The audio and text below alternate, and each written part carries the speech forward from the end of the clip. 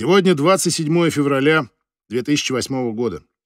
Время 23.43.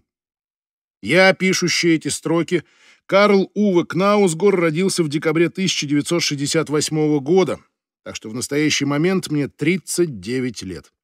У меня трое детей — Ваня, Хейди и Юн. Я женат вторым браком на Линде Бустрем Кнаусгор. Все четверо сейчас спят здесь, в разных комнатах квартиры в Мальме, в которой мы живем вот уже четыре года.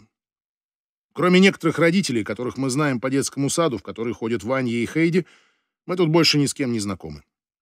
Мы от этого не страдаем, по крайней мере, я. Потребности в общении я не испытываю. Я никогда не говорю то, что думаю на самом деле, а, как правило, подлаживаюсь под того, с кем в данный момент разговариваю.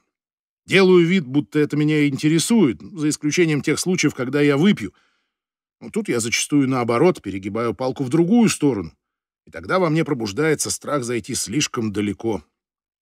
С годами эта тенденция усилилась, и теперь такое состояние может длиться неделями. Когда я напиваюсь, я уже ничего не помню, так что я полностью теряю контроль над своими поступками. Иногда шальными и дурацкими, но порой шальными и опасными. Поэтому я больше не пью. Я не хочу никого подпускать к себе близко.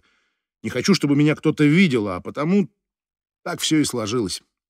Никто ко мне не приближается, никто меня не видит. Вероятно, это и отпечаталось на лице, сделав его застывшим и до того похожим на маску, что даже мне самому, когда я случайно замечу его отражение в витрине, не верится, что это я.